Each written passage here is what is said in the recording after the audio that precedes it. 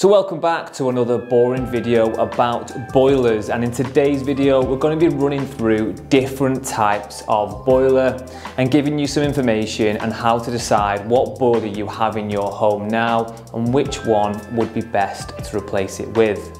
Just before we head into this video, if you are in the market for a new boiler, then head over to heatable.co.uk where you'll be able to get a fixed price to have a new boiler installed in your home in as little as 24 hours. Also, don't forget to like this video and subscribe to our channel for the latest content as it's released.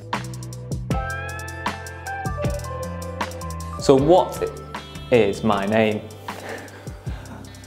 okay. right, sure. Where am I? Where am I today? right, okay. Okay, so there's four main types of boiler in the UK and they are combi boilers, they look a little bit like this. You've got regular boilers, which look like that. You've got system boilers, which are sort of like combi boilers, and then you have back boilers. So how do you work out which type of boiler you have now? Well, this is relatively straightforward to do and it's a process of elimination. If you've got a boiler with a separate tank, then that's either going to be a system boiler, a back boiler or a regular boiler.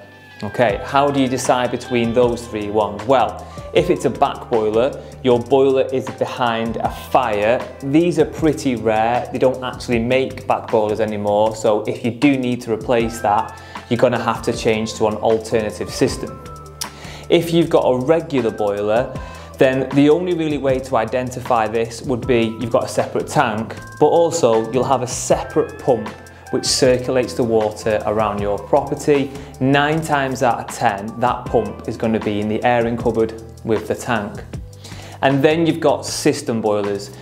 System boilers are like regular boilers, so you have a separate tank. However, the pump is built in to the boiler and generally they're a little bit bigger than a regular boiler. Also, the difference between a regular boiler and a system boiler is one of them has a little tank in the loft which is called an F&E tank, a fill and expansion tank, and that tops up the central heating. On a system boiler, it's a sealed system. Now you can get caught out on this because even with a system boiler, you might have a tank in the loft, but this is a cold water storage tank which tops up the tank. It all gets a bit complicated. Working out between a system boiler and a regular boiler can be tricky and you may need to seek the advice of a, a professional. A. Combi boilers are usually pretty easy to identify as you won't have a separate tank that does your hot water. With a combi boiler, everything is done in one unit. So combi boiler is short for combination boiler. Obviously, it does hot water and heating all in one unit. If you are enjoying this video, then please do like and subscribe to our channel and we read all the comments. So if you've got any particular questions you'd like us to answer or give us some feedback on the videos, just enter them in to the comments box below and we'll reply as soon as we can. So why are there different types of boiler in this, in this country? Okay. So why do we have different types of boiler? Well, this is all to do with application and suitability for the property. Most properties in the UK have a combi boiler. It's because they're compact and also they're very powerful for central heating and they don't store water, they boil it on demand, so they're very, very efficient. The downsides to a combi boiler are that you can't have more than one hot outlet running at the same time at full pressure. As the boiler only boils water on demand, it has to split this to various outlets if you turn them on at the same time. So if you've got a property with multiple bathrooms, maybe multiple showers, you're not going to be able to have a combi boiler and run these at full pressure. Then you've got regular boilers and system boilers. There's not a lot in the, these two different types of system other than the fact that the pump is built into a system boiler and also a system boiler is pressurized for the heating so it's a little bit more efficient.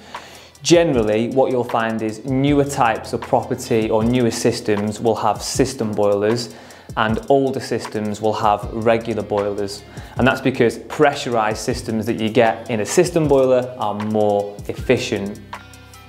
Back boilers are an old technology. They stopped making back boilers in the early 90s and they were very popular in the 70s. Now when we replace them, we can only really put a combi boiler in as it's the most logical solution. Happy Christmas because I finished today. Thank you. Thank you. So how much do these different types of boilers cost? Well, to buy the product, this is without installation, for a combi boiler, you generally pay anything from about £700 up to about £1,500. And for a regular boiler, even though there's fewer components, usually these are more expensive products and that's just because of economies of scale. As there's fewer produced, they cost more to make. Installation wise, on Heatable, you can get a combi boiler supplied and installed starting from £1,675 and a regular boiler you'd be looking around £2,000. Now this excludes on a regular boiler your tank or your controls and your pump so that's just something to bear in mind.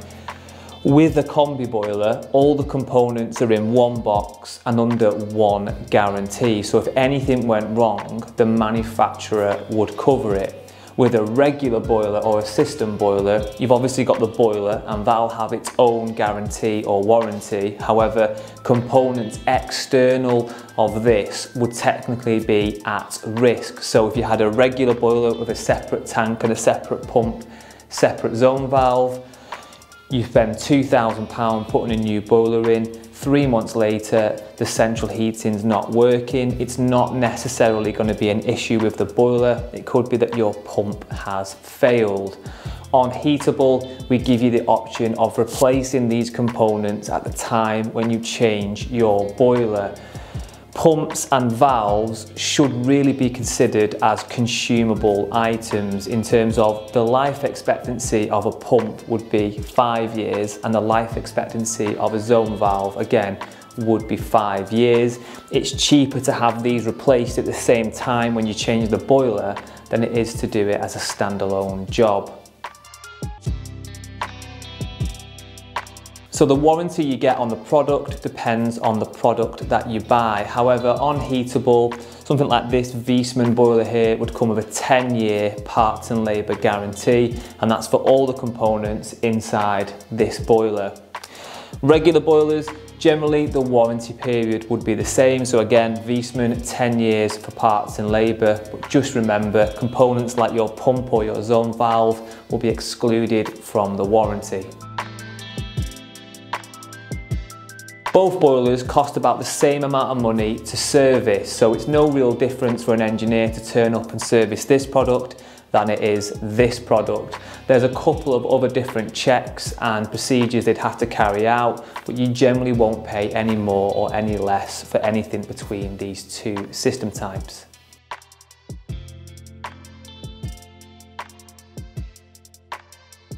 So hopefully this video has been useful in giving you some further information about the different types of boilers on the market and how to identify what boiler you currently have.